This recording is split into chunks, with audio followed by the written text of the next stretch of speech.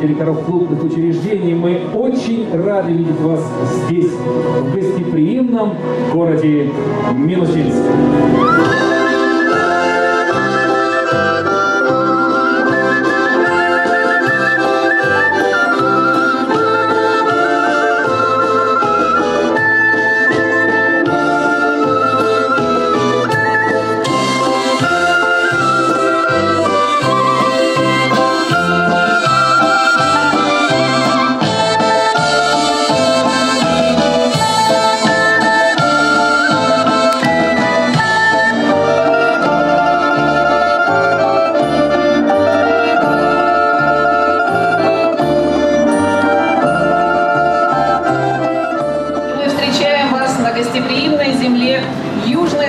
Столицы Красноярского края, в городе Минусинск.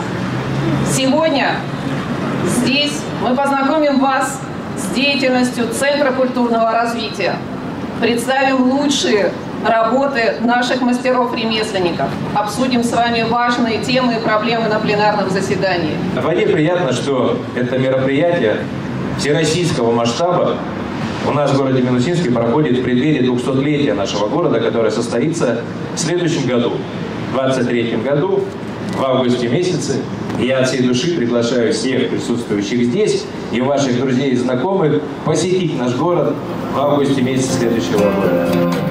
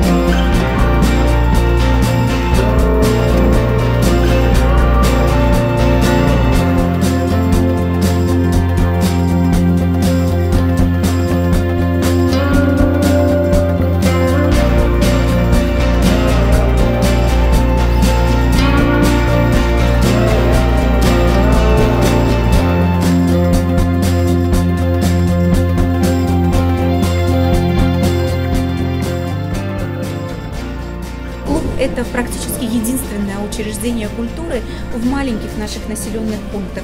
Это место, куда приходят всей семьей. Это практически второй дом. У нас сегодня в стране более 40 тысяч а, таких учреждений культуры, и, конечно, многие-многие годы им просто не уделялось должного внимания. И а, за эти годы они пришли в очень ветхое состояние, многие из них разрушились. И, конечно, потерять этот пласт, потерять эти учреждения культуры мы а, просто не могли. Было принято решение вкладывать средства а, в восстановление, а, в создание, в строительство новых культурно-досуговых учреждений, а по-простому, как мы их называем, клубов на селе. У нас богатое историческое культурное наследие. Около 160 национальностей проживают в Красноярском крае, в том числе 8 коренных малочисленных народов севера. И мы понимаем, насколько важна для нас э, задача сохранения и популяризации народной культуры. Очень много делается в крае для поддержки. Вспоминаю самую главную цифру, около 200 миллионов ежегодно мы тратим на ремонты сельских клубов, на поддержку домов ремесел, производительных творческих художественных коллективов. Я бы очень хотел поблагодарить, Ольга Сергеевна, лично вас э, за помощь в реализации национального проекта «Культура», нашего губернатора края Александра Викторовича Уса, потому что вот такими совместными усилиями федеральных и краевых властей мы можем добиваться успехов. Театры получили возможность приглашать ведущих режиссеров э, страны, и тем самым проходит и обучение, в том числе труппы. А, И, ну и, естественно, улучшается качество. То есть обновился э, репертуар, репертуар обновился просто колоссально. Поэтому вот то, что этот проект существует, он воспринимается всеми очень хорошо. И, конечно, я сегодня буду приветствовать гостей, но и пользуясь тем, что здесь присутствует первый, вернее, замминистра культуры, буду просить побольше денег.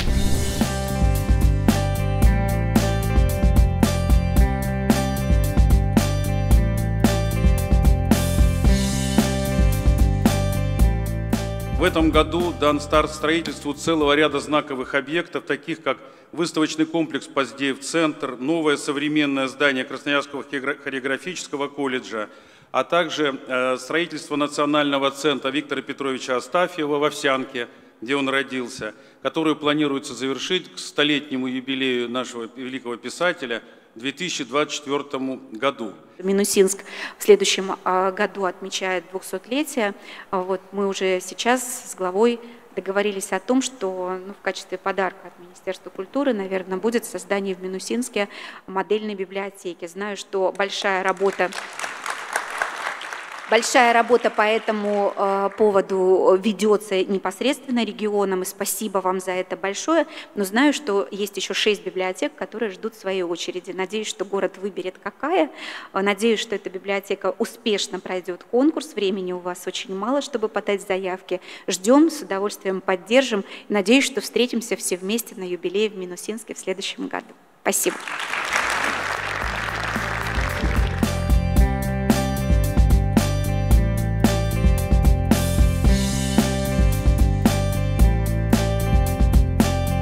Еще можно, наверное, высказать просьбу такую, Ольга Сергеевна.